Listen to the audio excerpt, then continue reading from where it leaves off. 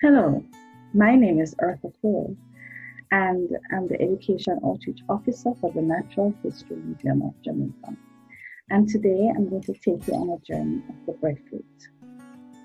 Now, the breadfruit is believed to have originated from the South Pacific area, which extends from New Guinea through to the Indo Malayan archipelago.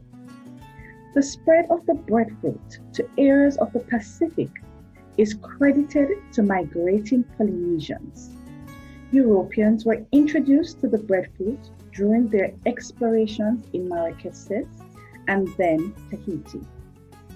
In the late 1500s to early 1600s, they were amazed to find a great, tasty, starchy fruit that had a texture and flavor similar to the bread and realized that it was a good addition to our diet.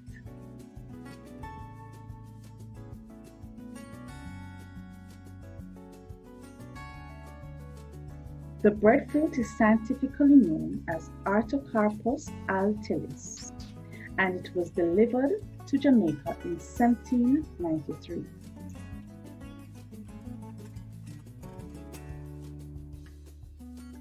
And it was intended to feed an enslaved population but it was rejected as a strange fruit and for the first 50 years was used to feed pigs.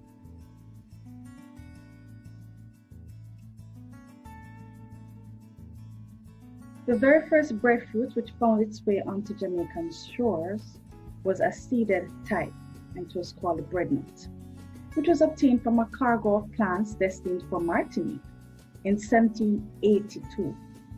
This specimen found pride of place in the private collection of Mr. Hinton East, then Receiver General of Jamaica. This acquisition, however, Jamaican plantation owners learned about the favored seedless type.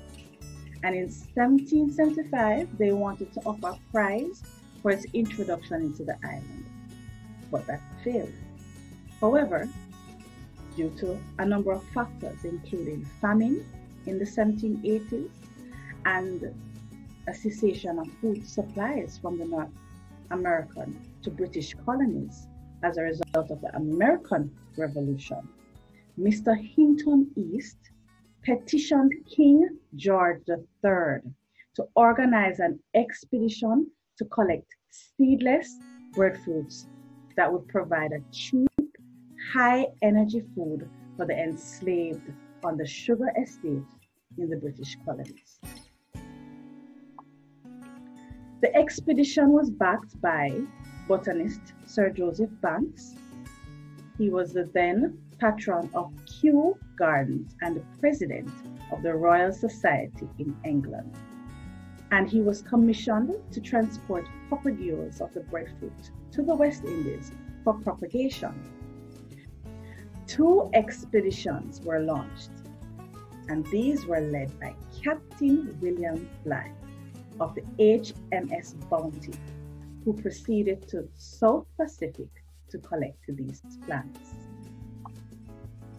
After 10 months sailing, they arrived at Tahiti, where they spent five months collecting and potting seedless breadfruit. During their stay ashore, some of the crew members formed relationships with the locals Second in command, Fletcher Christian even married a Tahitian local. The crew set sail for the Caribbean, taking with them 1,015 potted breadfruit plants. However, after reaching the approximately 2,100 kilometers west of Tahiti, as seen in the map, a rebellion led by Christian Fletcher ensued, and Bligh, along with 18 other members of the crew were forced off the ship and into the ship's boat.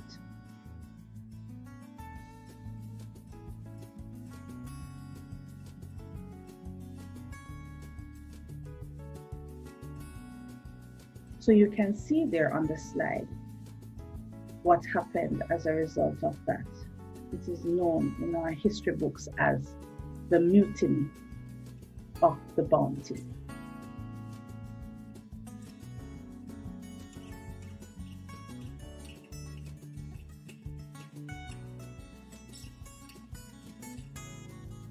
For securing the plant, Bligh won the Royal Society's medal and delivered the specimens to Jamaica's Bath Botanical Gardens in St. Thomas and Bluefields in Westmoreland.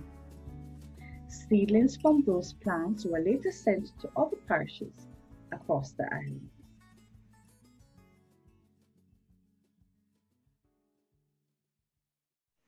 The first Jamaican saying on the slide goes as follows Breadfruit make you coward. This can be heard often by country people because they believe when you eat too much breadfruit, it allows you to see ghosts. All right, so we're going to be moving now to the anatomy of the breadfruit.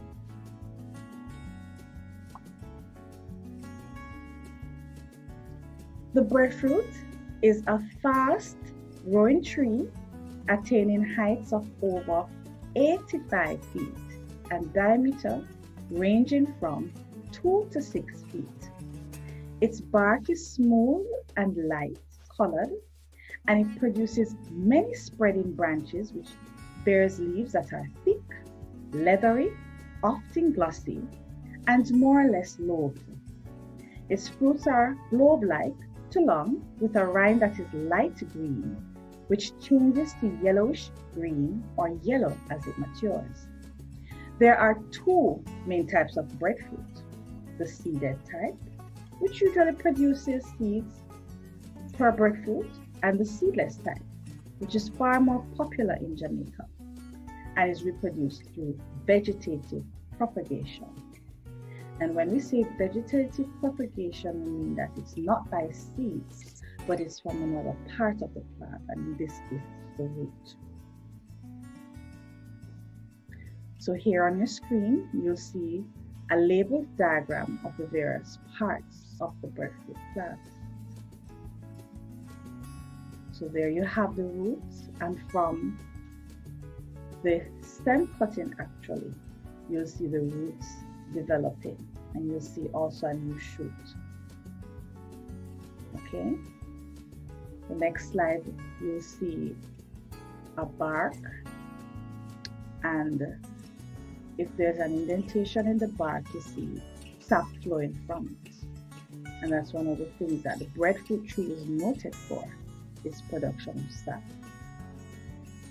The next slide shows the male and female inflorescence.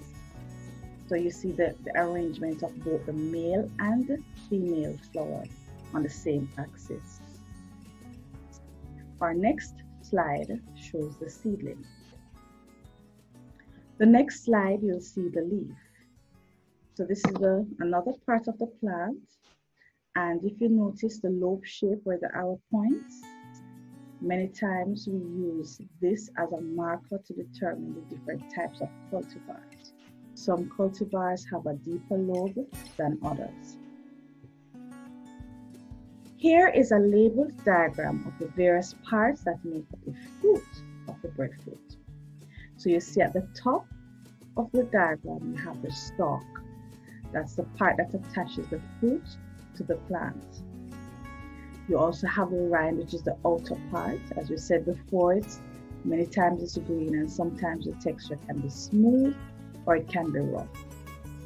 You have the inner part, which is the fleshy part, which is what we consume. And on the center part, it's referred to as the heart, or in some cases, the core. This is the part that we normally throw away after we peck or peel our breadfruit. We're going to go to Jamaican saying number two. The breadfruit stem tells the end of the world. What does that mean? This is referring to the stalk of the breadfruit, where there is a C shape that is seen when it is cut. So it is said that the shape closes and forms a zero when the word has come to an end. All right, so now we're going to be looking at the varieties of the breadfruit. Now, the cultivars is the term that we use to refer to the varieties of breadfruit that are below the level of a subspecies taxonomically, and it is found under cultivation only.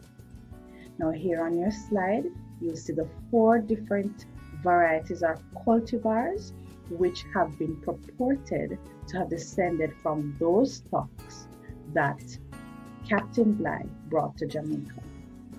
So we have the St. Kitts or Timon, and this breadfruit, you'll notice that it does not have deep lobes, so that is distinguished from the other types of breadfruit. You have the cassava on the other hand, which is very deeply lobed.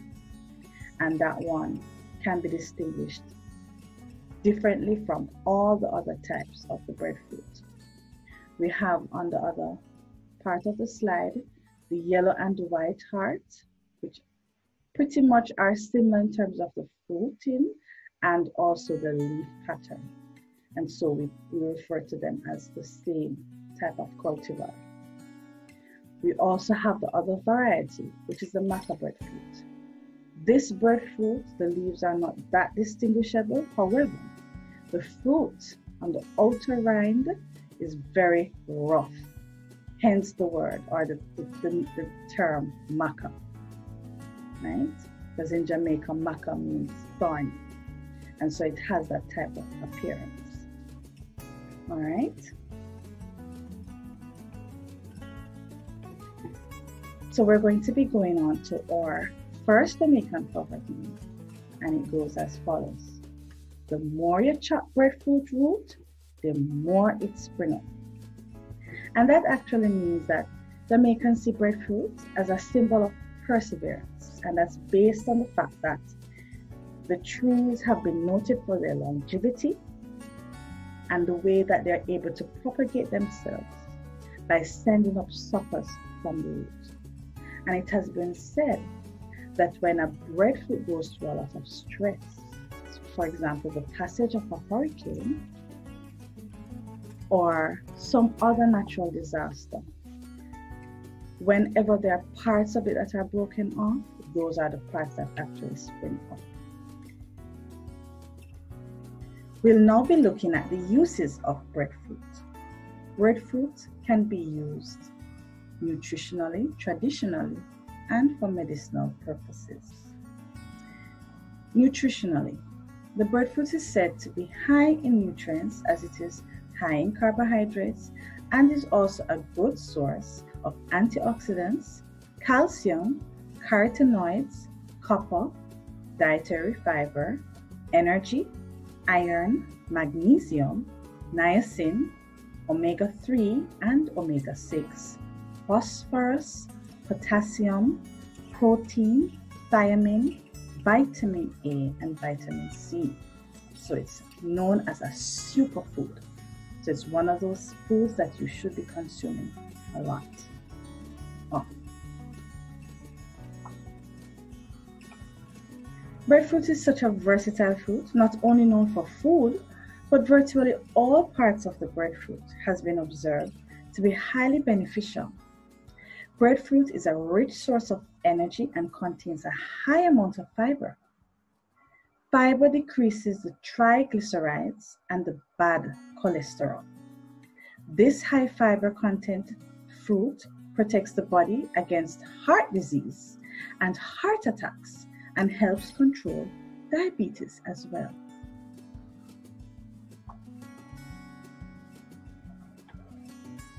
All right, so now we'll be looking at the traditional uses of the breadfruit along with its medicinal uses. So for example, the leaves. The breadfruit is also used in Jamaican folklore and folk medicine. And one of the popular uses is as a tea, which is made from the breadfruit leaf to lower high blood pressure. The juice from the leaf has also been used to make eardrops and to relieve headaches. Crushed leaves on the tongue can be used to combat thrush. And roasted leaves are known to treat an enlarged spleen, cirrhosis of the liver, diabetes, and asthma. In rural areas of Jamaica, persons also use the breadfruit leaves to relieve headaches by having the breadfruit leaves tied to the head using the bark of a banana plant. The bark of the banana had to be wet as it is said to be stronger in that state. All right, so we're looking at the sap now. So the breadfruit latex, also known as the sap, also has medicinal value. It is purported to have antifungal properties and can be used as a poultice on tumors, as it is also diluted to combat diarrhea. It can also be massaged as an ointment for broken bones, sprains, and bruises. And it can be used to heal sores and relieve stomach aches. Additionally, the sap is so sticky, it is also used as a sealant.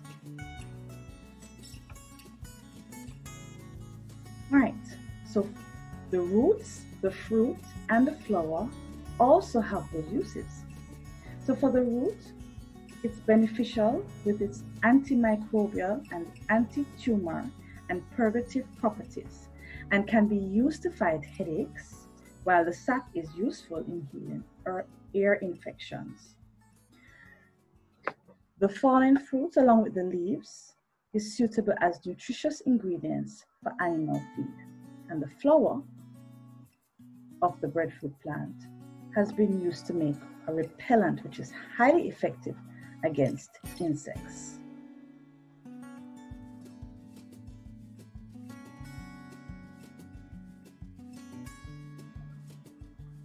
Some additional benefits of the breadfruit include keeping your heart strong, boosting your body's immunity, helping your body store nutrients, protecting and reversing oxidative stress, aiding in digestion, reducing the risk of colon cancer, boosting the resistance against infections, and may also help against certain cancers.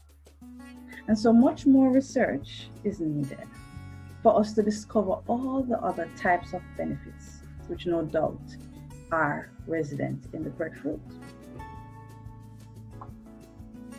So we're going to look at our second Jamaican proverb, and it goes as follows. No make goat watchman fi breadfruit tree. Or no make goat trusty fi breadfruit tree. And that means that it's referring to the occurrence of in nature of the goats as heavy feeders, which if they're if they get onto a breadfruit plant will devour it right down to the ground. And it represents so the goat represents a dishonest person who is entrusted with valuable things, such as a, a security guard or a watchman who who steals from the property that he's supposed to be watching. The breadfruit belongs to the mulberry family, the Moraceae, and includes other members such as figs, scientifically known as ficus, and the jackfruit with its scientific name Artocarpus heterophyllus. Today, the breadfruit forms a regular part of Jamaican cuisine and it is consumed for breakfast, lunch, dinner, and even a snack. It can also be served as a substitute for rice. Traditionally, it is boiled in soups with a few slices of the young breadfruit added to give a little body to the meal. It can be roasted or baked, roasted on the stove top, in the oven, or on wood fire. It can be fried, pickled, or juiced and it's usually eaten with the Jamaican national dish, ackee and saltfish, are used in salads or as a side dish. And the fit breadfruit, when boiled, is soft enough to be mashed like potato and eaten with butter, while the ripe or slightly ripe breadfruit, which Jamaicans prefer the yellow heart breadfruit because it's ideal for roasting. So today, breadfruit is not restricted in use any longer to just being roasted, fried, and in soups. We have begun to explore many other different ways of preparing the breadfruit, and I'm sure some of us have prepared ourselves to later on in this workshop explore using breadfruit to make smoothies and to make pizza. So that should be coming up after this presentation. All right, so we have come to the end of our presentation. And, you know, just to wrap up, you know, despite the breadfruit's uncertain introduction to the island, the breadfruit survived and has adapted to Jamaican folk culture. Gone are the days when the breadfruit was just roasted, fried, or boiled. We have discovered that there are so many other things that we can do with the breadfruit. And not just the food, there's so many medicinal properties that are in the breadfruit. Indeed, breadfruit is a superfood. Thank you for participating.